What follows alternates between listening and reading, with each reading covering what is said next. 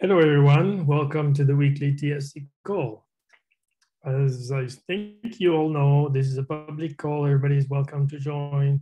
You, however, however, you need to live and uh, be aware and live by the antitrust policy, the notice of which is currently displayed, and the, the code of conduct, which governs all our activities within Hyperledger. So with that taken care of, we can move on to the announcements. Right. I saw you inserted that first bullet, so I'll let you take it. Okay, um, it is what it says on the 10. Um, due to the HGF being uh, the week after, the monthly DevRel call has been pulled in a week. So it is uh, next week on the 2nd of June. And uh, that's a chance for developers and marketing to uh, to get together and figure out how to work better together. Um, Helen, if you're on the call and you want to say anything else.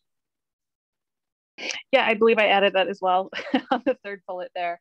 Um, but yeah, we're going to be talking about a few things uh, next week. Um, just reviewing uh, some of the work that's been doing uh, happening on the white paper and greenhouse uh, update task force. We're going to walk through um, kind of what's going on with with HGF, uh, the Global Forum, in terms of the technical tracks, just to make sure that we're spotlighting ones um, on social media and, and helping promote um, the sessions that you all are in. we want to make sure that if there's anything we should call out or especially highlight, um, we'd love to have your input on that conversation. Um, and then also the DevRel newsletter, which is here on the next bullet point. Um, just if there's any other content suggestions or you know ways that we could kind of hunt out some more information from the community. Um, we just have uh, appreciate everybody's uh, thoughts and input on those those topics, and would love to see you there. All right, thank you, Ellen and Ry. I mean, you know, people always come to the TSC saying, "Please, can you help us get more people interested in our project?" I mean, it's one way to get you know to socialize your project and possibly get more people to join your effort is to advertise it and take advantage of this kind of like you know marketing um, possibilities we have. So not every open source project has that uh, ability so we have it. It's a shame we're not taking more advantage of it. So please do consider doing so. All right otherwise we just have two reminders the weekly uh, developer newsletter. Again, this is yet another opportunity to advertise what's going on in your project. And then the, um, the uh, Hyperledger Global Forum registration, please make sure you are registered and then uh, let the word out. I guess I will add one more announcements. Uh, for those who are maintainers, you must have seen I sent an email to the maintainers list I'll have the opportunity to give a TSC update um, at the beginning of the conference. And I figured it would be nice to give a little bit of an update on the different projects. Obviously, I can't get into the details, but if you send me a bullet or two that you want to kind of highlight about your project, maybe it's like a major release you had over the last 12 months, or that's coming up, something you want to draw attention to, um, please send me this and uh, I will try to insert this into my deck. And I mean, obviously, you know, I can't get into any details, but my idea was to kind of, you know, maybe get people to pay attention and, and maybe get their, you know, um, interest into finding out more. We have plenty of sessions about the different projects with demos and whatnot. And it's a way to advertise a little bit what's going on. So if I can be of help, I have 20 minutes. I have a bunch of things I'd like to cover. So I don't know how much I'll be able to say, but if you send me, like I said, a bullet or two, I will try to insert this. So that's yet another opportunity to advertise what's going on in your project. You've been told. Any other announcements anyone wants to make?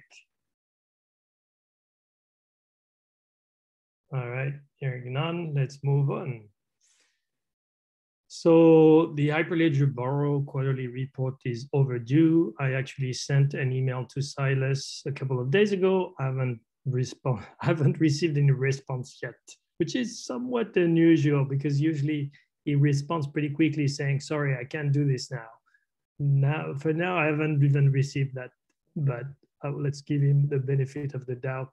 Hopefully he will respond to my email soon. And I'll, you know, either he will say when he might be able to do it, if not now, or he will say, yes, I'll get to it. That's usually how it works. So otherwise we had two uh, reports, one for grid, one for transact. I have to give Andrea credit for always being on point and you know she's always submitting posting those reports and announcing them to the tsc list which is kind of nice so that everybody is aware. Uh, it seems like i was just looking at that before the call seems like most of the tsc members the majority have reviewed those reports. They didn't you know raise any alarms or, or you know request for the tsc to do anything. So unless there is anybody who wants to get into uh, one of those reports now, I think uh, everything is good. But this is your chance if you want to say anything.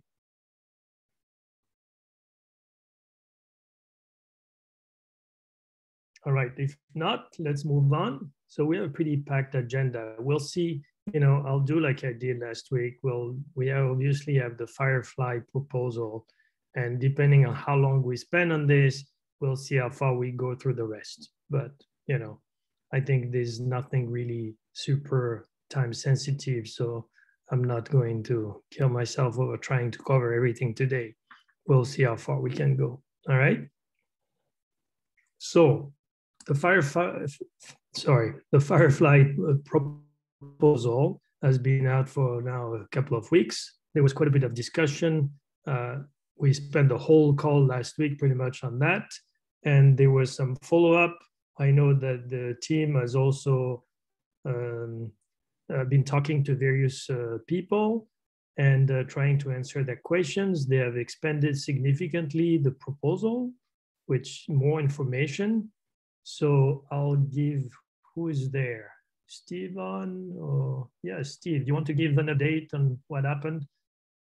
I mean, you did send an email. Thank you for this, highlighting a little bit what happened.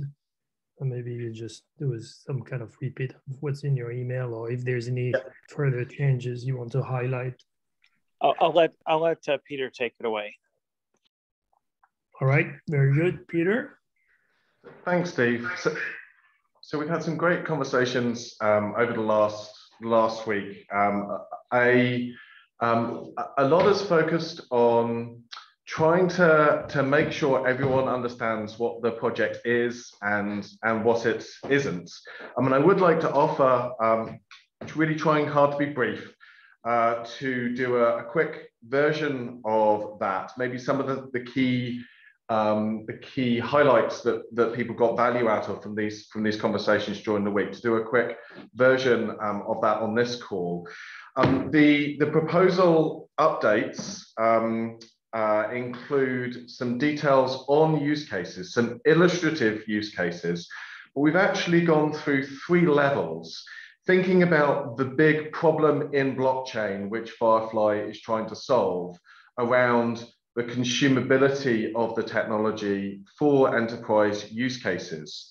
Um, and then to drill down through an example of one of hundreds of possible um, uh, business use cases, so a, a, more business example rather than just a, a, a technical example, um, and to show the kind of interactions that with or without Firefly are going to exist in that kind of, of use case. Um, so hopefully that um, has helped to address um, some of the questions around the, um, the kinds of use cases where this mixture of on-chain logic and off-chain coordination um, with real applications that are meaty and large and exist off of the chain, um, integrations to core systems where, where those problems intersect that Firefly is trying to, trying to help with. Um, I did just want to mention before maybe saying if you want to take me up on the offer of just going through a little bit of that that detail um, on on sort of how the how the ping pong works because that really helped some people. I did want to mention there was an open question last week about licensing and the interaction between the Apache 2 code of EthConnect, one of the plugins for Firefly that's been contributed, um, and um, the LGPL code that's inside of the Go Ethereum project in Go. Um, actually do have an update on this. We've done the work since last week. Um, it's not merged into master, but it's fully proved out to split the binding code that's needed to, um, to allow the core EthConnect Apache 2 code to talk to the LGPL code, to split that into a separate repo and have that as a separate build going into a shared a shared library, a .so file on, um, on, on Linux, for example, um, and to be loaded um, uh, via dynamic linking rather than static linking. Um, so hopefully that addresses the, the concern um, that of the incompatibility between LGPL and static linking um, that was that was raised, um, and um, should allow the EthConnect code base to go in with the Firefly core code base um, on day one if that's um, if that's appropriate. So, so that was a few a few items there and an offer to drill down into a little bit more more detail. All right, thank you, Peter. So, is are there any other questions from anyone? Tracy. So my question is around that latter point of the licensing. Um, does that limit the platforms on which this could work? Um, it, it, it means that um, if there were a company that wanted to extend the Firefly community in a proprietary non-open source way, and that that company wanted to um, use the EthConnect piece, and that company didn't want to provide a non-LGPL plugin because there's a plug point now. They could put it, provide a non-LGPL one using Burrow code, etc. Um, and and um, and they wanted to use Windows rather than Docker. That company trying to extend the ecosystem might hit a hit, hit, hit a challenge around specifically not being able to build on Windows because the Go the Go technology um, does not uh, support dynamic linking yet on, on Windows. They could build it on their laptops, they could build it anywhere that they have access to the source, and that would all be fine. Um, they just couldn't create a paid private closed source distribution without doing the work that we talked about last week of implementing these 20 or so plug points that, that, that, that, um, that would be needed on EthConnect to replace the LGPL code.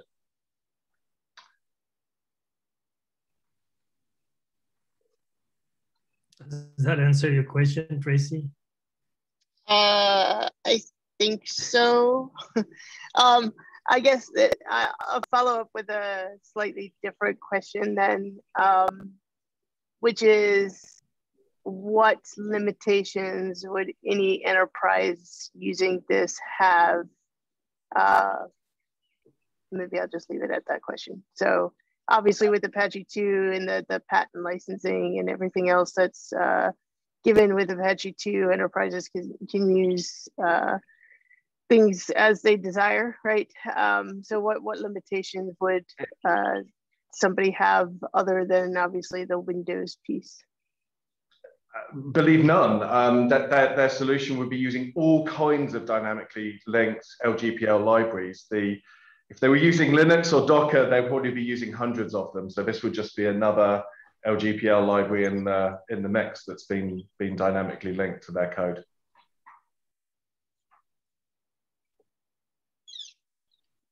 Yeah, it sounds like you've managed to work around the main issue. Gary is next. Hey, thank you, Arnaud. Um, sort of, you know, uh, you know, in, in, tune with Tracy's question, but I don't really have a question about it. But uh, again, I think sometimes we, I always like to bring this up. We mistake the points here, right? So even if the as the code stands today, even if you had that code in that repository, and enterprise, Peter specifically was very clear in the words, right? A commercial offering where you actually provide the distribution to somebody else, right? That's fundamentally the LGPL license and the GPL license, right?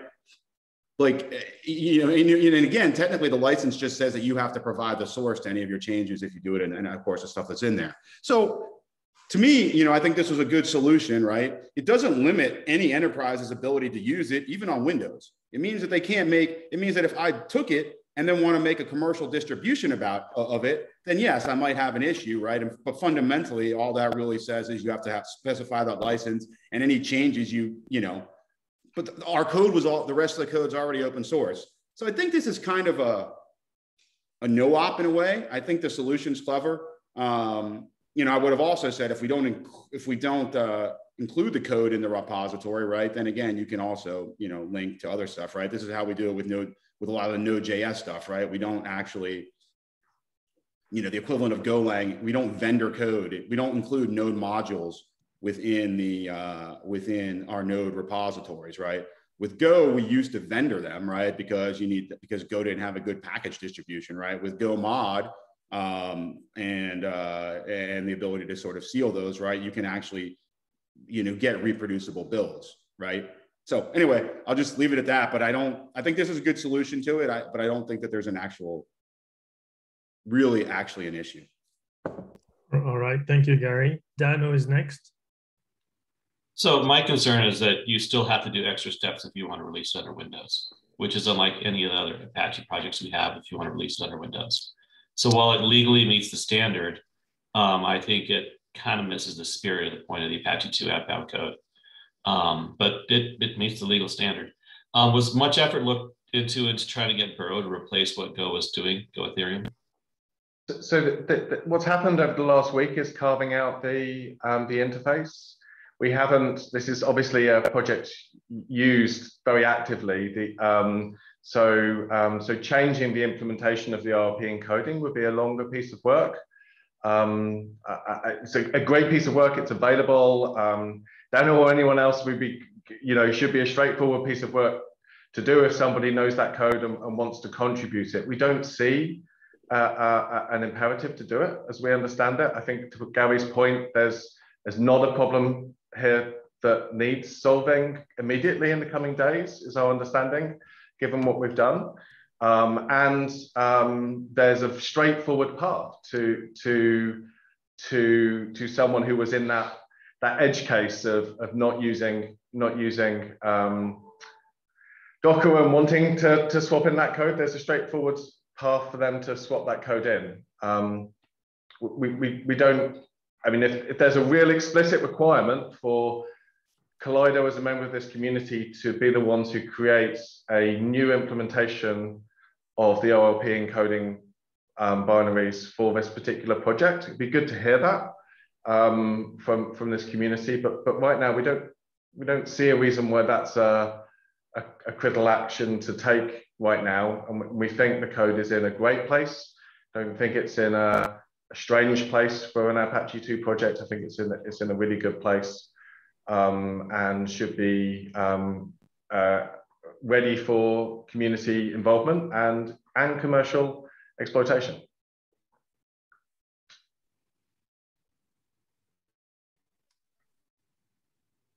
Tracy is back on. No, Danno, is you still on? Okay, Tracy. Okay, so uh, the last piece that you said caught me um, it sounded like we you have a solution, but it's yet not in the source base. I, I guess the expectation would be that it would be there prior to bring it into Hyperledger. No, no um, sorry, sorry, sorry, Tracy. Um, yeah the, the, solution that was discussed last week of making it dynamically linked code rather than statically linked code so that anyone reading the LGPL license would go, oh yeah, that's dynamically linked, no problem. Like there's no, like it's conformant in either way is our understanding, but you wouldn't need to talk to a lawyer about it. It would just be, oh, obviously it's dynamically linked. No, it's, it, that's done. That's completely done. And baked. Yeah, that's that's that's what I was talking about, Peter. It sounded like you said that it wasn't in master. It's a solution that is possible.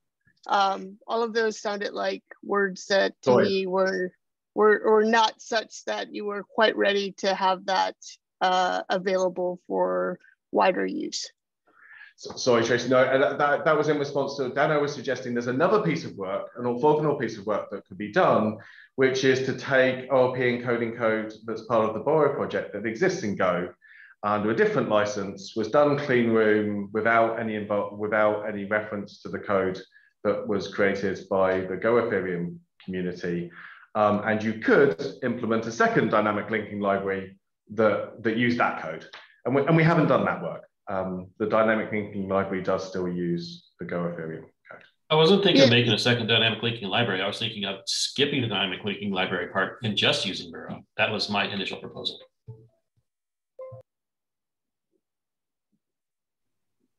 Yeah, so I think I think that I think there's two pieces, right? One is pulling the code out in order to make it LGPL dynamically linked library. Uh, and that's the one that I'm questioning. The other solution, which is using Burrow to directly replace any of the code that's currently uh, calling the LGPL piece uh, Go Ethereum, that's the second piece. So I'm mostly concerned right now with the first piece and making sure that that is uh, available in the source base uh, as we speak today in the master. It's available in the source base. Um, at, at the beginning of this call, it hasn't been merged into master because there's um, there's there's just the practicalities of um, of of uh, a, a day's testing needed for that switch to happen. Um, um, and um, uh, Jim, who led led that work, um, uh, uh, has has completed it. He, he has some commitments today, so it may not be today, but we can make it today if it needs to be today. But the code's proved, it's ready, it's there. Um, it- it's simply just because this is a, a, a highly it's it's it's it's two years further ahead in the journey. Um, uh, it's used in production projects. We just need to make sure, as, as with every um, open source community, that that last phase of it going into master happens when it's it's gone through all of the checks and balances. So it's as, it's as simple as that. It's not it's not that the code's not ready. It's just um, uh, it's just not not yet flicked from from from a branch into master. Yeah, I would I would say that's a prerequisite to bringing it into the Hyperledger uh, Yeah. repositories. That's I- all I- I wanted to bring up. I think Tracy, we can definitely make that uh, requirement. Uh, you know, if we want to approve this with that uh, caveat, and I think that's reasonable. But it sounds like this is just a matter of time. They have the they have the intention to do so anyway. Let's go to the queue. Angelo, Uh, I, thanks, Arno. Uh, not sure. I would like to move to another subject, not the, the license, uh, uh, the licensing thing, if it's okay. possible. So let's see if Gary still wants to talk about Yep. this. Well, I don't really want to talk about it. I just wanted to say, I mean, again, it's, you know, people can put whatever dependencies they want, but I guess we should answer the question: Is the does is the code as is? Does it violate being uh, uh, contributed with an Apache license? And, and I don't think that I I don't I, I think as long as the LGPL code's not actually in there, then it doesn't. This is how we This do question- Node.js. This is what we This- do with all of Node.js. This is every node, every node thing that we do, right? We do not include the node modules in there. Uh, and that does not affect the source code. So I guess that's my point, and I'll leave it with, by the way, Kubernetes does not allow you to build uh, the control plane for Windows today. So like not having Windows support is not a problem. Uh, sorry, Brian, you answer, you, you, you're, you're about to answer my question, I think, so I'll. I, I was you. barging in and very rudely. I apologize for that. No worries. Um, I now this is this question of dependencies is something that the Apache Software Foundation has pages and pages on, um, and there are categories of licenses they allow to be depended and, and that sort of thing. Um, and and it's and a critical question is is it in the repo? A second critical question is is it distributed from Apache org infrastructure or in our case from the resources under our control, right? Um, and and for example, LGPL code cannot be contributed into an Apache project, even in a vendor branch or that sort of thing. Um, it can be depended upon at, at build time uh, and I believe it can't be distributed from Apache org servers. So I think um, any proposal that has a dependency on LGPL, especially upon an abstractly defined interface for which there could be a re-implementation under something else, completely fine. Um, I, it's something I just want to highlight for for folks, uh, you know, who are coming into the project. But um, uh, as long as it's not checked in on a vendor branch, then I think we're all good. And then a core question becomes: Do we distribute Docker images or, or other kind of system images with that in? And I think we we would need to come up with a policy for that because I think we've avoided having to answer that question previously. All right, thank you, Brian, for that clarification hopefully that uh, helps people who are concerned about this. And I, so, I'm pretty sure that means I think this is a fine proposal. yeah, that's well, that's what I'm getting from what you're saying. So Gary says that too. So I'll take your word for it. And there is work anyway to try to reduce the friction at that level too. So I think we're in good shape. Angelo, uh, yeah, yes. Uh, if I can uh, switch a little bit, I, I still personally have um, some some issue with the with the, uh, it's my just my point of view. I uh, just want to say stress this. Um, so in the, in the document, it's written something like data privacy by default. Then the example that is given it's not really data privacy by default uh, because uh, the tokens are leaking, are leaking information about the, who is the owner of the token, the content of the token, uh, uh the tokens itself. Um, so can we, can, it, it, would be possible to just scale down a little bit the, uh, the, the sentences, the, the, the, magnitude of the, the sentences. Also in the abstract, it's written, it solves all of the layers of complexity I mean, uh, is it, does it really? Don't, don't you think that is a bit too, uh, too stretched the, as a, as Brian this, in the sense, I'm, I'm saying this because if you really do that, uh, I mean, it means that you have such a, you have a global solution based on strong cryptography, like uh, a, paper, like I don't know if you know the paper ZEXE, that gives uh, a, a, complete system that is privacy preserving based on, on, on zero knowledge. And to me, this, the, uh, this the Firefly doesn't seem to go in, uh, um, in that direction. So which message are we sending if we this publish if this uh, this project gets published and I, I, I, see the goal of the and I, I find very interesting the goal of the project but are we are, are you really making it are you really delivering this you said that uh, the project has been used in production already. Uh, do we deliver zero knowledge already in production? Uh, can we see the code? I mean, maybe given okay. that you are open sourcing this, can we see it? I, I think this is a good point, Angelo. Maybe you guys need to tone down a little bit the expectation. Some of these claims may be a bit far-fetched, but you know, uh, maybe with less of a marketing hat on you can say that you aim at solving you know the layers of complexity and be a little bit more humble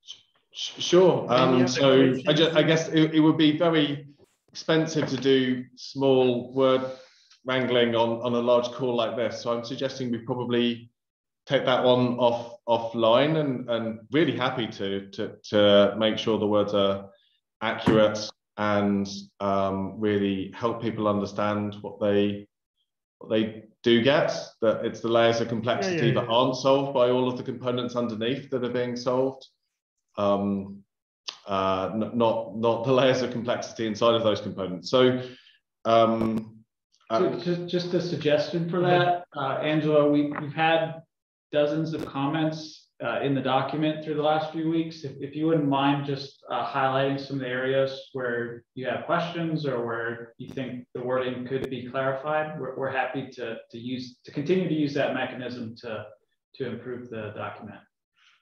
I, I would uh, ask you to consider, uh, you know, the link at the top of this document is a 404 now. Um, I would ask you to consider actually filing this as a HIP in GitHub and then all these comments and pointers and stuff will be preserved in the TSC repo. Um, we were trying to get away from doing Google Docs before, so I, I would just, as a disinterested observer. That's a good point. And, and for, for that matter, if you go to, for instance, Sawtooth, the wiki page, and you know it points to a Google Doc that was the proposal for Sawtooth, which no longer exists. And you get a 404 saying, sorry, don't know that document. So we seem to have lost a piece of history there, which is always the danger when we rely on external third-party systems, even if it's from Google. So I second the Ry's point on that one.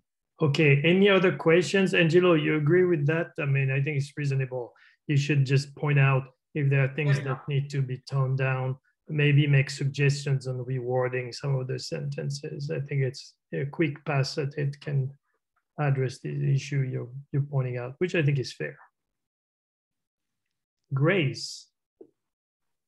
Hey there. Um, my question is a little bit of a pivot, but I'd love to hear more about the community management um, processes that you all are planning to do for Hyperledger Firefly. I think it's a little challenging when it doesn't have an open source history to turn to and say, oh, all of these, you know, activities have already been done. So we can see you're going to continue to do it. So I'd love to hear more details around, you know, if you're going to have contributor calls, how you're going to integrate with the Hyperledger community. Just want to make sure that uh, y'all have thought of that thoroughly. Um, very, very much top of mind. I, I guess we are seeing that the Hyperledger um, community is going to influence us here as well as um, uh, uh, uh, uh, as, as, well as being a place to um, to bring those contributors together, being a place that has um, standards that we can follow, um, uh, and that we can we can use those as the as the as the as the template. Um, uh, or, are you saying each that that it's in in hyperledger the intention is that that there you know that there, there shouldn't be kind of that uni, unified approach it's much more each individual project should should have its own sort of from scratch processes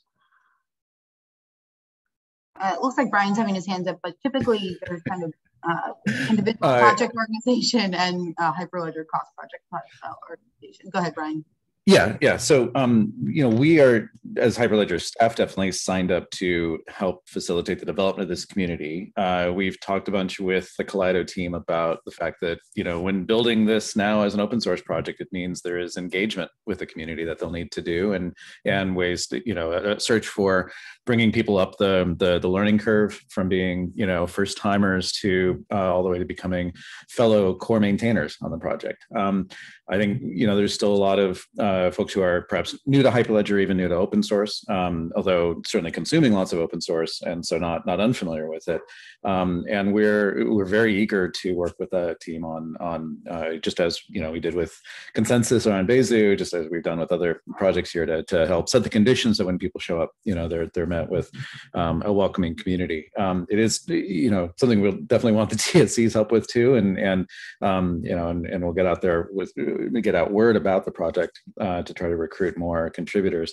Um, and I think just to turn it back to Kaleido, like um, uh, you know, the expectation is, you know, as this code is is continues to be built, you know, and continues to be innovated, that um, what previously had happened as kind of internal development processes, you know, against a, a internal whiteboard, internal uh, um, issue tracker, whatever planning tools, somewhat turns inside out, right, and becomes kind of exposed. So it's more than just the code; it's also the process yeah. of that further development. And everything I've heard from Kaleido, by the way, uh, for everyone else here, has been that they recognize that and and, and, and want that and seek that because that's going to help make this a, a better product. So I, I will add a couple of... We've been really trying to walk the walk rather than talk the talk there. So yeah. since you know, since this this process has begun, we've taken every architecture document, created issues in Git, pointed to them. We put it in Git, knowing it was the wrong place because we assume that once we go past this phase, there'll be the right place inside of Hyperledger, the right community whiteboarding tool or what, um, etc. For, for those sort of collaborative discussions on on documents that they'll exist. But we we try to sort of turn stuff inside out, make sure that um, that from that point on, all of the code changes are, are happening and the, the comments, etc., where we can, are, happening in the community. And we know that there's more to do um, in, in, in that space, and we're excited to do it. That's the, the reason for going through this process is an excitement to, to really bring wider um, community um, evolution, like all the way from architecture through to implementation um, of, of, of, of, this. Um, uh, so, so hopefully, if you if you looked at the repo, you'd see a real sort of demonstration through action of, of change. Um, um, but you're, you're right that it's still right now that those contributors are um, are, are, primarily there with a with a Kaleido, you know, a Kaleido name badge, um, uh, and and that's really something we're we're looking forward to changing. All right, let me interject here. I mean, a couple of things I wanted to say on that very point. Uh, the first is well, you know, welcome to the club. This is, you know, what every company that's switching from proprietary uh, development model to open source has to go through. It is not always easy. And, you know, it does require uh, changing your mindset and the way you work so that you don't have internal meetings where you exclude de facto everybody else. And it, it does require quite a bit of an effort. And I speak, you know, from experience. But uh, the other part is you know, we have an incubation stage uh, for that purpose as well. It's, you know, to get out of incubation, to graduate, your project will have to demonstrate that, you know, it does behave the way we expect as a real open source project with all the you know bells and whistles that come with this, including having CIs and and whatnot. So I think for now we uh, we can leave that to later uh, I don't think it's a requirement to to you know we I think it's fair to assume that the Kaleido team does in have you know good uh, intentions and the reason they come to Hyperledger is because they want to be an open source project. So I think uh, that shouldn't be held against them. Uh, I, I, wanted to, if I may, interject a very practical question, which should be much simpler for you guys to answer. and I'm sorry, I didn't have time to dig further into the, the, the code to figure it out myself. But one thing I was wondering is in terms of from an operational point of view, so I understand you have these Firefly nodes, and then underneath you rely on some blockchain network to be there. But who manages the blockchain network? I mean, in your demo for development purposes, I understand the Firefly CLI will create a small network for you to play with. But in production, my impression is that you would have, you know, um, you would use whatever tools is appropriate to manage your blockchain network, depending on which what blockchain framework you actually use. And then you would instruct your nodes at the Firefly layer to basically connect to the nodes in the blockchain network? Or is it that no, Firefly is going to manage the whole blockchain network for you? Great question. It's the former, Arnaud. Um, yeah. The the blockchain network, but also the other networks like the private messaging network. If you're not using the built-in just peer-to-peer um, HTTP, you know the, the the open source plugin that just comes with Firefly. If you you've got your ActiveMQ or Artemis private messaging network, right? That that plugs in it, your your um, your broadcast data storage, um, something like IPFS or Swarm that that just plugs in and and the management of those that's com- that's you know by by architecture that's decoupled from um, from having Firefly as um, a sort of unifying component, exposing the API um, and the you know that that private data interface to your applications. Okay, that makes sense. Thank you. Uh, Brian, you still have your hand up. Is that on purpose or just forgot? Uh, shoot, sorry about that. Okay. All right, any other questions? Tracy.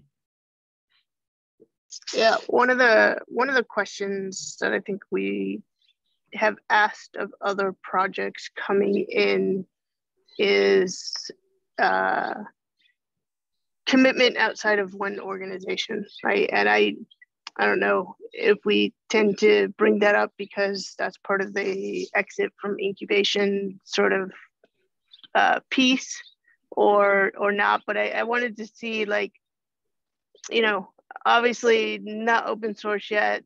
Uh, how do we get kind of the momentum behind this and bring in other sort of organizations such that we're not just looking at Kaleido as a single organization supporting this. So I, it's interesting you bring that up because I have to say I uh, my recollection was wrong when it comes to you know uh, in in a separate email uh, Arun actually asked me hey what does sponsor you know what qualifies as sponsor for a project proposal we actually had quite a bit of discussion of sponsors for creating labs, but we never really got too much to talk about sponsors for proposals. And in my mind, I was like, but in the project case, these are companies. And then I went to look and I realized this was wrong. All the previous proposals were actually sponsored, so to speak, you know, by individuals. In the very first case, Fabric, uh, the affiliation is not even mentioned. it's just two people, you know, as a, and, and so I don't know. I mean, here they have added quite a few people to their proposal, but so I just wanted to give the background there. You know, it, it is not well defined. I, I have to highlight that. And uh, and yeah, I don't I don't think it's it the sponsors people. though. I'm sorry. I don't think it. I don't think it's the sponsors though. I think it's the section that we have in there about resources dedicated. Ah. And I think right now what we have is six people from Kaleido and one person focused only on ETH Connect. Uh, potentially, I think it's a, from another company. And so that's. I think that's the the piece mm-hmm. where where I was thinking about uh, the support from multiple companies. Yep. Okay, I get it.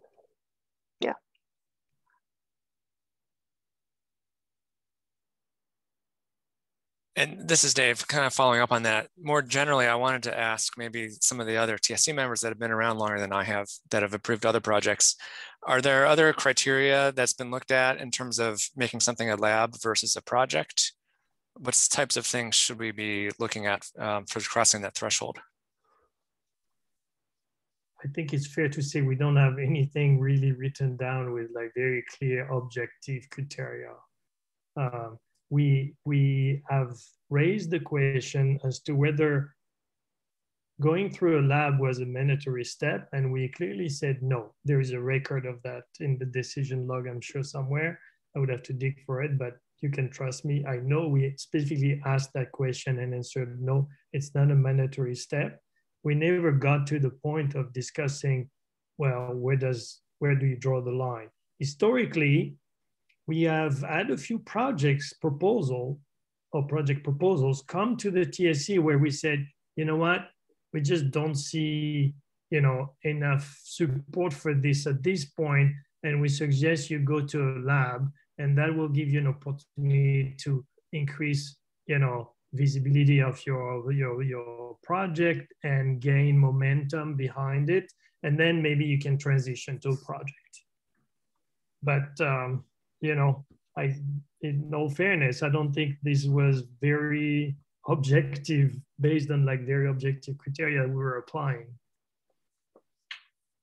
So there is a room for uh, subjectivity here, I'm afraid. Right, and, and what would I guess set this project apart from those other projects that we were said they should start as labs? You know, uh, one of the things that gave us, uh, re, I'm sorry, I should have raised my hand. Uh, I'm jumping ahead of part. Uh, let me, I'm sorry about that. Go ahead. Oh, well, Hart maybe wanted to say something.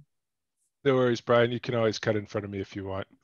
Um, All right. Um, uh, one of the things that uh, gave us reason as we were talking with Kaleido to think um, that this might be better as a, as a project rather than lab, at least not to dissuade them from that, is that it's in production use now in a, a, a, number of projects. There's traction. There's there's other people beyond their own company who are touching this and uh, uh, want to see it open sourced. Um, we'd like to be able to give it the kind of publicity, frankly, and marketing, so to speak, that uh, um, you get from uh, something that's a project, and we tend to to kind of discourage from things that are purely in labs, although we do break that principle sometimes. Um, uh, and not that things need to be finished uh, or, or in production before they become projects. I mean, Cactus is an example of something that did graduate to a project, but I think labs are for those efforts that are still finding their footing in terms of what they want to be or how they fit into the the, the larger portfolio. Uh, and projects are for those things where you know there's a, some real momentum there. Uh, and um,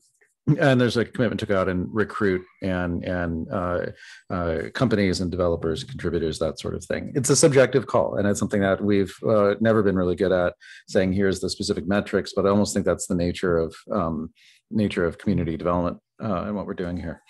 Uh, and this, the, I don't want to introduce the whole question about rebooting the the um, greenhouse and other things. That is a process that's underway to to not make it feel like we're constrained to specifically 16 projects or only 14 projects or something in uh, in the greenhouse. All right, thank you, Hart. Yeah, so I'll take a stab at answering Dave's question.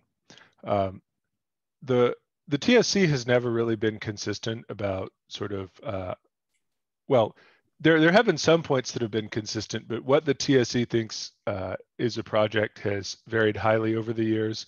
Um, the TSC has even forgotten that some things are projects on occasion. Um, so uh, the, the the consistency is is sort of all over the place, and it obviously you know it's not too surprising given that it changes based on you know who's the TSC, whether some people think we should have like a you know a small number of projects in Hyperledger. Some people think we should have a huge number of projects. Um, so it all sort of depends. I would say one thing that has been consistent, and I believe Tracy uh, has been addressing this, um, and obviously Tracy knows this because she's been around Hyperledger since almost the very beginning. Um, we have generally wanted pro uh, projects coming in for incubation to have, I guess, committed resources from people that are not in the same org. So generally at least two different orgs. Um, and I think every project that has been approved has had this. Um, so, so that really has been sort of the, the only hard and fast requirement uh, historically for, for bringing a project into incubation. Um, I'll turn it over, I guess, back to Arnaud or Gary. Yeah, Gary, go ahead.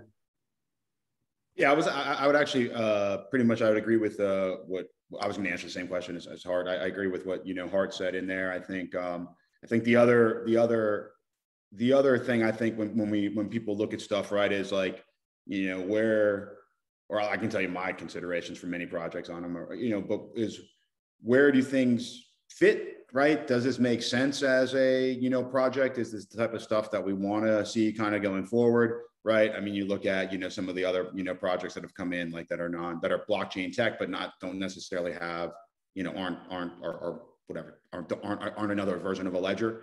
Um, and you know, I think that's where you kind of you know kind of look right. Some of the lab ones I think have been more like, well, these might be a good idea, right? We haven't done a lot on them.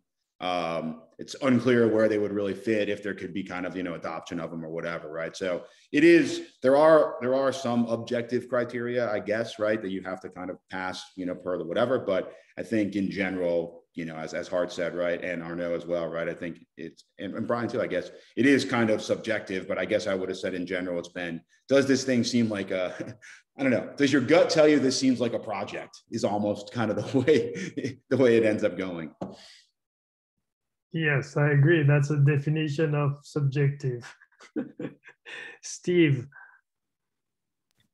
Yeah, just just a, a, one point of feedback for for someone who's in the frying pan at the moment. Um, there there are documents out on the TSC wiki about uh, the life cycle and the phases. Um, yeah. and you know the there there is a the best definition is for exiting incubation uh, into into active status.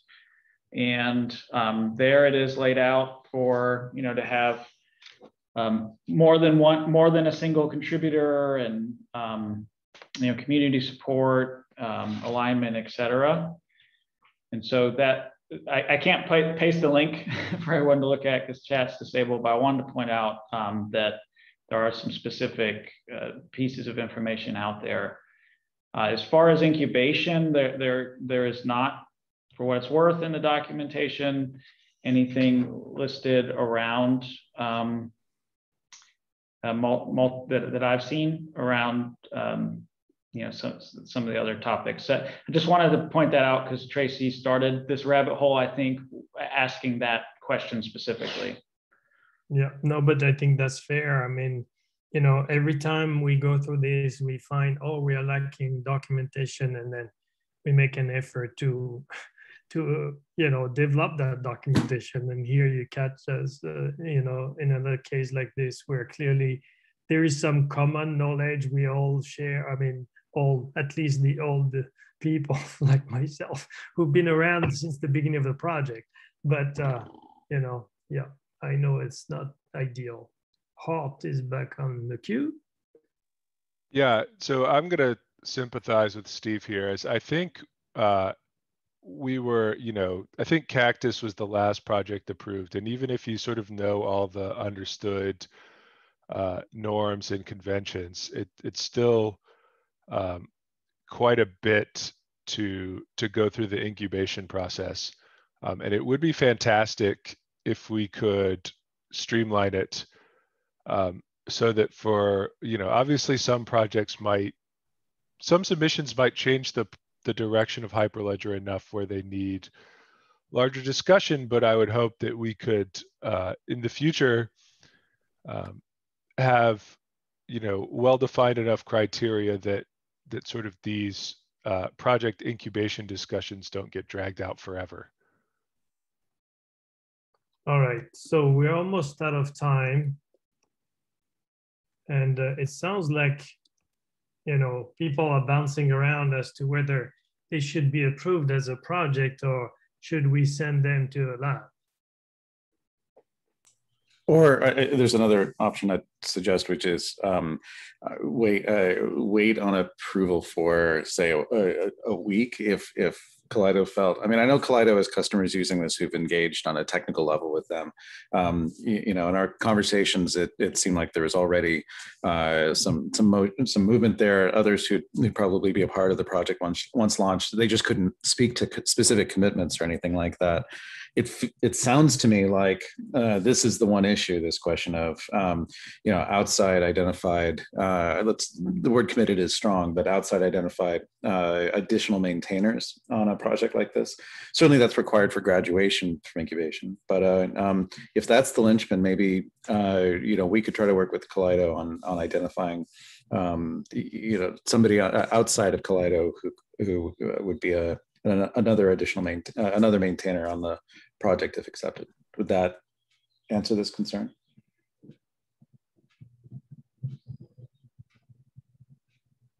Well, Tracy, I mean, for instance, you raised that question. Would that satisfy you, or you feel like, well, yeah, just adding a name there makes no difference? Uh, it wouldn't be the first time I think that we added a name, but um, that's a different story. The uh, I, I think I think it's a matter of success, right? Um, and you know, how how do we how do we make this a successful uh, project if we bring it in to Hyperledger? Uh, how do we make it a success if we bring it into labs, right? I, I think there's a couple different paths there that we could think through. Um, and you know, I, I think until people can actually see this as open source, right? I think that's where the challenge is probably for a lot of people. Um, you know, I I will say that there are things that were uh, submitted to labs that um, you know have learned a lot from that process right? Um, learned a lot about how to work in a community learned a lot about how to market themselves to a greater um, audience. I think there's you know i think some of the things that brian you mentioned could be obtained from uh, from labs. So I, I don't necessarily know whether or not i would say yay or nay to this at this point. Um, and I don't know what in my mind would would convince me to say yay. right, um, I'm a bit on the fence at the moment, um, and yeah, I don't I don't have an answer. I guess. Uh, no, that's fair. So uh, we are quickly running out of time. Steve, do you still have your hand up, or is it back on? Yeah, I just wanted to to point out because maybe it's not obvious for for the for who's currently signed the proposal. Um, we do to your to your point a, a minute ago, Arnaud. I just wanted to clarify that we we do have you know one one of the largest uh, blockchain consortium in the world, a U.S. based insurance consortium um, called Riskstream that has about seventy percent of of the market. Um, that that's the Patrick from from the institutes. Uh, to your point about you know real usage in the world, there are several other uh, or similar uh, groups that are are um, you know running this technology. Uh, to your point, um, we're working our way through the legal process. You know, it's going way slower than anyone could ever imagine. Um, we also have blockchain um, uh, vendors uh, you know, one of them is Atato, who is contributing code into part of, of Firefly today, um, to the point about multiple contributors, um, uh, as well as some, some other signatories. So want, wanted folks to just familiarize folks with, with that. And, um, you know, I, I, guess I'd observed that other projects started with a, a seed contribution from a company. It doesn't seem like an, an unusual uh, path in. We're certainly committed to, um, as, as we started this conversation uh, several meetings ago with the TSC, we're, we are committed to um, doing proper open source, to building a community. I think uh, uh, uh, this, to Gary's point, this is a broad, um, ambitious project that that is that is solving a, a massive pain point. I think a, a number of, of, of, you have told us um, directly that um, this is this is a, a top, probably the top pain point out there that the market is seeing right now. So as far as the potential value of this project, I think it's really significant. Um, and I, I, did you know, so I, I want I definitely want to encourage the TSC to to do the right thing and and follow, um, you know, the best practices and the processes. We've we've been, you know, working off the documentation that's there as well as the feedback that we've been yeah, getting to, Steve, to go through this process. I'm going to have to cut you off because we're running out of time. So I want to say, I mean, th that's not the issue. We understand you're trying to do your best in presenting this project, and I, I, I do think Tracy raised a, an valid point, which is historically, and you know, I've been in the back looking again at the propo- various proposals from many of the projects we have. There was at least always two companies committing resources to the project, and so I think you know we may not have written this anywhere else, and that's a fault. You know, I take that uh, you know as a to do for us to to address, but you know we have been relying on a lot of uh, you know, shared knowledge among at least the old timers in Hyperledger. And I think, you know, that's the situation. So given that we're out of time, I'm going to close the call on this. What I suggest is you take advantage of the extra week to, to, you know, try to see what you can do on that front. I think you have addressed a lot of the questions. So at least there's a better understanding of what this project is about. And I think next week, what I would like is, you know, based on whatever the, the Kaleido team, you know, manages to do, we'll have a quick uh, uh, update on the situation, and then we can make a decision one way or the other, either to send them to a lab or uh, accept as a project. There's no point in dragging this on any further. All right. In the meantime, sorry, Sophia, we didn't get to you, but we have to close on this. So thank you all for joining. We'll talk again next week. Goodbye.